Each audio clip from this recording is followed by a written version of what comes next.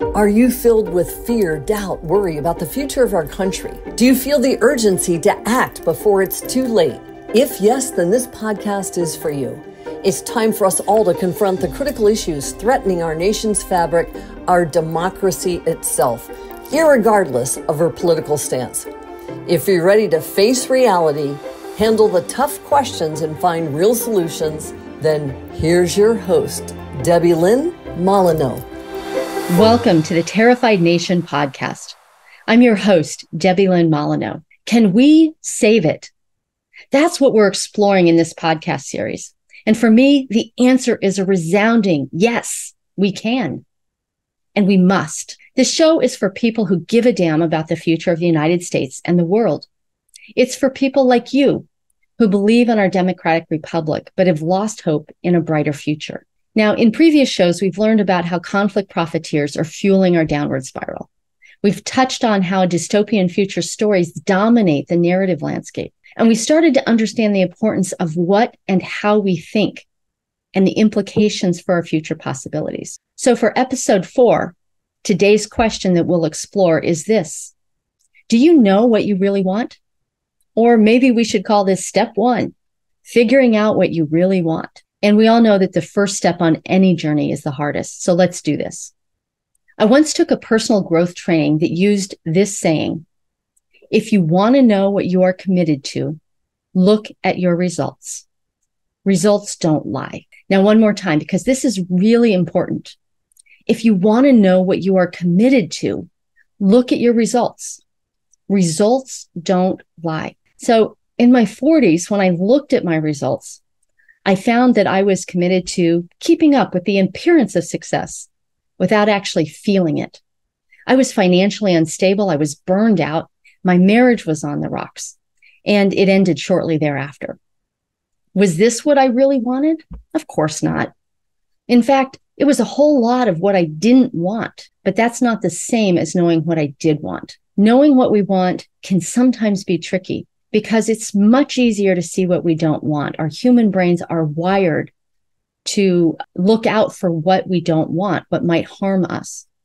So this is where our results can actually reveal what we're committed to. For instance, I don't really want to be fat, but do I want to feel healthy? And if I want to feel healthy, am I committed to do what it takes to be healthy?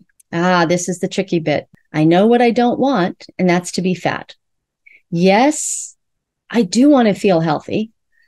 But like most people I know, I want to feel healthy by magically being healthy without any of the work. So, what is the result that I'm committed to having? Well, to be honest, this is my actual mind muddle.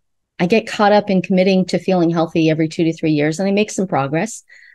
And then I get tired of the extraordinary effort that is required for me personally. And my bad habits creep back in and it erases my progress. So you may be asking at this point, what the hell does this story have to do with our nation? Well, it gets back to what are we committed to? And our results show that politically, we are more committed to dominating the other side and forcing our will on others through manipulation of elections and voters, through threatening election officials with harm for doing their job. We are more committed to sitting on the sidelines where it feels safer than to the democratic principles and actions on which this country was founded. So I ask again, what do we really want? What do our neighbors want? What about our closest family? And what commitment could we make to get a better result? A dear friend of mine, David Emerald, wrote a book called The Power of TED. TED stands for the empowerment dynamic. And in TED, David tells a parable that outlines how the drama triangle works in our lives and in our society. And he also shares the antidote, which we'll get to. In case you're not familiar with it, the drama triangle is a model created by Stephen Karpman around 1960 to explain a psychological phenomenon he was seeing with patients. In the drama triangle, there are only three roles that people can play in relationship to one another. And those roles are the victim, the rescuer, and the persecutor. Now, when we experience trauma, these are the only three roles that exist for us. Someone has been hurt, someone rescues them, and someone is to blame. Think of your a melodrama, if you will. And can you see how this frame that is helpful for escaping trauma has been manipulated and spread throughout society. Because in the drama triangle, regardless of which role we are assuming, our focus is on what we don't want. There's a problem and we focus on avoiding it or making it go away. And this is how people become othered and blamed for societal harm to us. So let's look at a real issue that's plaguing us in late 2023. And I just, I am so tired of this one. But in 2022, the Supreme Court struck down the Roe decision, which ruled women had the right to privacy in reproductive decision making, including abortion. But with the Dobbs decision, they ruled that each state can decide if abortion is legal or illegal within their jurisdiction. Now, no matter which side of the abortion issue you are on, the political ads that we have and will continue to see will follow the drama triangle roles. There is the victim of the Dobbs ruling, women who've lost rights or babies who will be born. The persecutor, the Republicans for taking women rights or the Democrats who want to kill babies, and the rescuer, the Democrats for protecting women or Republicans for saving babies. But what do we as a nation want in regards to balancing the needs of women with those of potential humans? How do we decide? Or is this an issue where goodwill cannot be found to create reasonable legislation or amendments so that we can move on to other pressing matters facing our nation? See, abortion has become a fundraising, voter motivating issue that the parties will not let go of until we, the people, demand and act to settle the issue. The drama triangle is used as a way to manipulate us endlessly. And until we see the game en masse, it's going to continue. Knowing what we want is the first step to exiting the drama triangle. So what do you want? The answer to this question shifts us from drama towards empowerment. And if, and if you think it's simple, well, you're right. It is simple.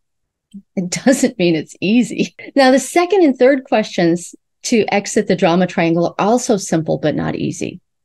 Because these are questions that shift our thinking out of the drama once we know what we want. And as we talked about in the last show, the skills most needed in the future involve better thinking and open attitudes. Here's question two. How do you see others? Because if you're seeing other people as inferior or unable to solve their own problems or incompetent or maybe even evil, you may have fallen into the rescuer role. I am an over helper when I fall into the rescuer role. The third question, what is your intent? Now, this final question needs a clear eyed answer because when I was keeping up with the Joneses in my 40s, my intent was to look good. Some people just want to be right. Some people want to, force their will on others like a bully. But for me, in trying to look good, I became a persecutor in my marriage, blaming my husband for not making enough money to support our lifestyle. I pretended to be a victim and cast him as the persecutor. And of course, he felt persecuted himself. Now, here's how we get out of this together. I've developed a research project to help us as a nation figure out what we want to do. It's AmericanFuture.us. Now, I've been interviewing people about their vision for their personal life.